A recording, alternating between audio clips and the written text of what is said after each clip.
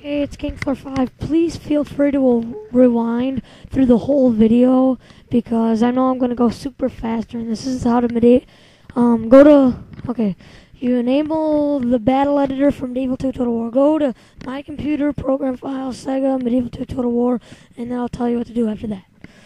I'm going really fast, I'm sorry, because I'm having technical difficulties with my computer. You know how it is. There's this little file called Medieval 2 Preferences.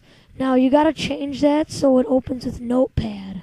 Because it's gonna be something else you gotta change it. It so it opens with Notepad and save the changes. Now, open that file up. And there's gonna be all this crap on there. Now, at the bottom, you're gonna see this little thing called this little thing that you're supposed to enable. You're supposed to enable this thing that says editor equals true on the bottom. Now, hopefully you can see that. I was supposed to put a clip that zoomed in on it, but my computer sucks. It's having technical difficulties. It's gay. So, there you go. That's what you're supposed to write in the bottom, just like how that is, okay? Alright, so, then, what you're going to want to do is you're going to want to save the file.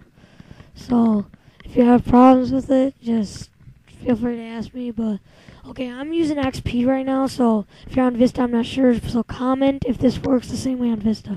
Okay, save the file. And then what you're going to want to do is change the properties to read only, so that way you don't have to keep going back and enabling it over and over again. So save the changes to read only and then apply and save. So that's how you enable it. I'm very, very sorry it took so long. See, at how weird discolored it is. My computer is having technical difficulties, so I'm really sorry for those of you that left comments and said they needed help with this for being fast. So just please rewind it. I know you're gonna have to. Um, thanks for watching. Um, I think I summed it all up. Please subscribe. It takes a really hard time for me to do this kind of crap. So please subscribe and like this video, okay? So thanks a lot, and just go into Medieval 2, and you'll find a little thing in options that says Battle Editor, and see my other video for the tutorial. Thanks.